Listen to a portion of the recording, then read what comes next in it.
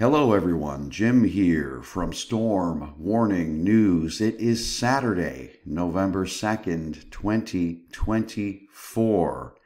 And we have a statement from Pentagon Press Secretary Major General Pat Ryder on Middle East force posture updates.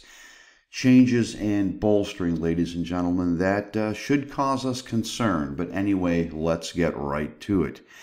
In keeping with our commitments to the protection of U.S. citizens and forces in the Middle East, the defense of Israel, and de escalation through deterrence and diplomacy, the Secretary of Defense ordered the deployment of additional ballistic missile defense destroyers, fighter squadron, and tanker aircraft, and several U.S. Air Force B 52 long range strike bombers to the region. These forces will begin to arrive in coming months as the U.S. Abraham Lincoln Strike Carrier Group prepares to depart.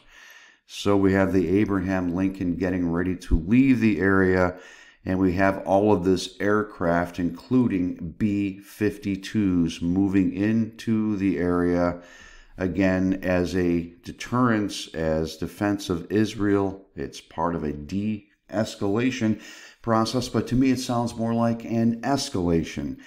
And if I was to guess, I would say that this would be moving quickly and be done probably faster than over the time of coming months. It might be coming weeks, who knows. Be prepared for war, ladies and gentlemen. Be prepared for world war. World war that we've been expecting to come now for how many months or years? World War III, you could call it.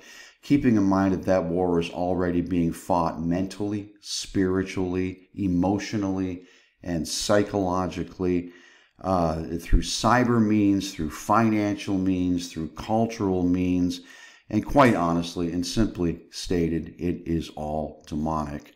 But here we go. This could be a potentially big move, and we will keep our eyes on this, and we will keep our eyes on Election Day coming Tuesday. What kind of shenanigans will be staged, ladies and gentlemen?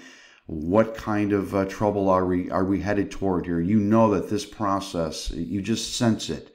That on Wednesday of next week, there's going to be screams for recounts and and accusations of, of ballots being stolen and ballots lost in the mail and all of this.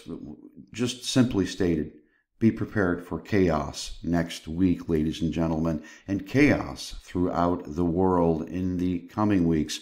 But we will not be given over to the spirit of fear but instead of the power of love and of a sound mind that comes through our Lord and Savior, Jesus Christ.